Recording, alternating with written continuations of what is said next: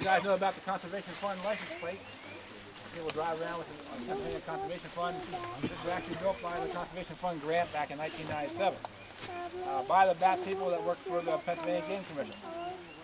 They spent, they spent three days here welding and cutting the uh, bat door. Uh, very well solidly uh, placed.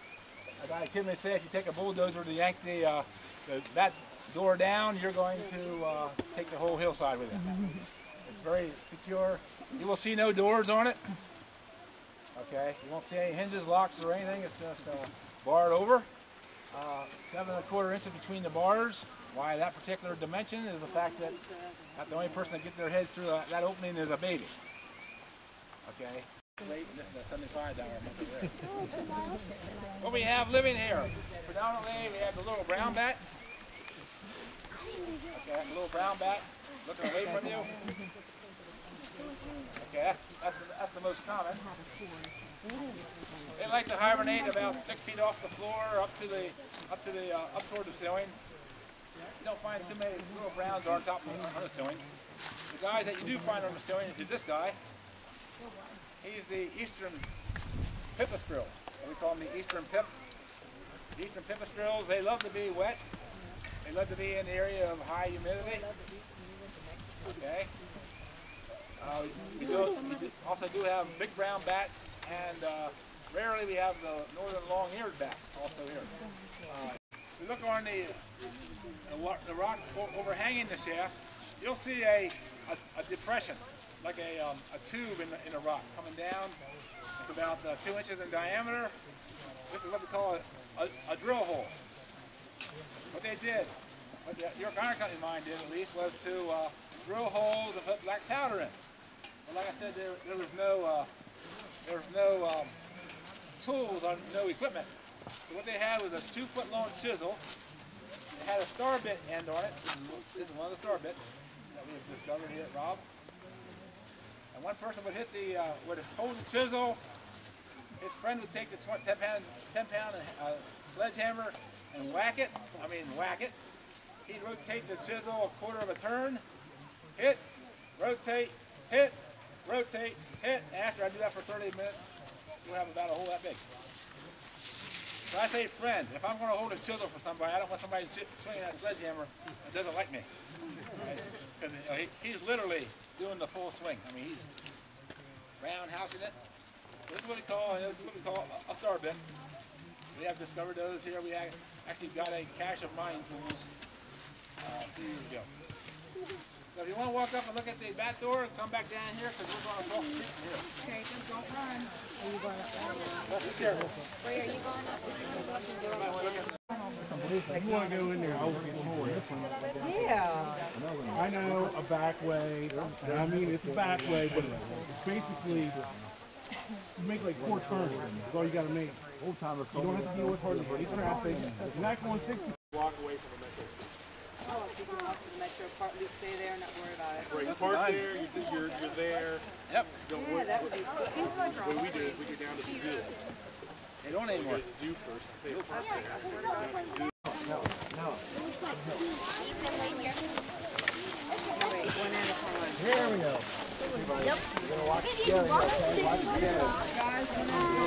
Hold up, guys. Hold up. Curtis, stop. Stop. Nathan. Nathan. Oh, one of the Oh, I, I, I, there was an angel watching on me because had I flipped over that boulder where I was trying to climb, then it would have been a four. I would have definitely. Here's one of our, uh, we have a couple of big discoveries. Our next stop is a big discovery too, but this is one of the more recent discoveries. Um, hey, up please. Up, up out of the hole. Back up. Okay, one of our big discoveries is, is this piece of rail here. Um, because first of all, it's the furthest down the railroad that we know about.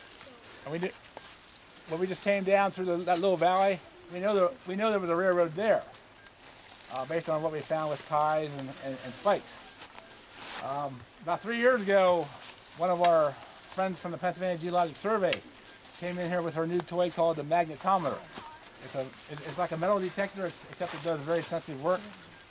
And she can map out uh, all the iron in the ground. It's not natural. And she got a high right here. You know, a hot spot for iron. Uh, so I and one of my assistants came out just for our own curiosity, and we dug a trench across here and hit the railroad. And that's all we did. Left the rest for the summer of uh, 19.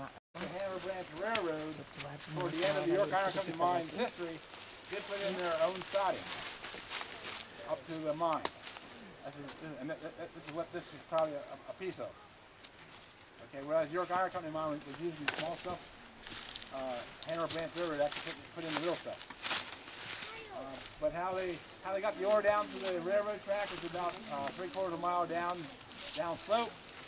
According to the book, they, they literally gave the mine cart the push, and they went down by gravity. It's like a like a 60 foot drop from here down to the railroad.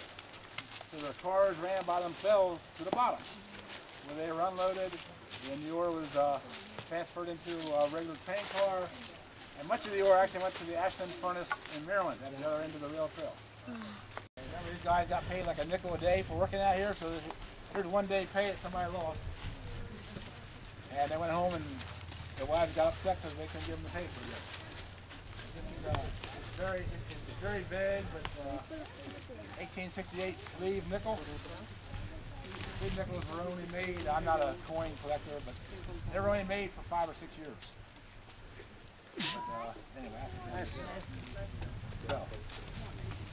Anybody have any questions here? We're going to keep this in place as a, a teaching. And there was a cable up around the pulley into a house that's called the hoist house, where there was a machine like a crank that operated it. Okay? Well, I'm yeah, at least I'm in the hoist house. You guys might be too. You guys are. Okay, the hoist house.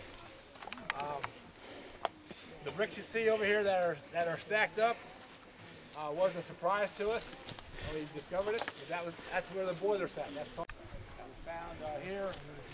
Did find a lot of nails. There's a there's a nail at the bottom. I brought this along because it shows you also the, the artifact format. Archaeology students that we have here, nine to twelve year olds, have to uh, do every artifact they find. They got to they got to fill out a form. Archaeology is a lot about doing the paperwork to be documented. Not any good to us. Um, there is there are some fire bricks. This one's a little vague, but uh, it, it, it's marked CM. CM. And actually, if you go to the uh, Heritage Trust uh, website, under archives, there actually was a CM brick company in York in the 1870s. Aha! That's where that came from. Okay.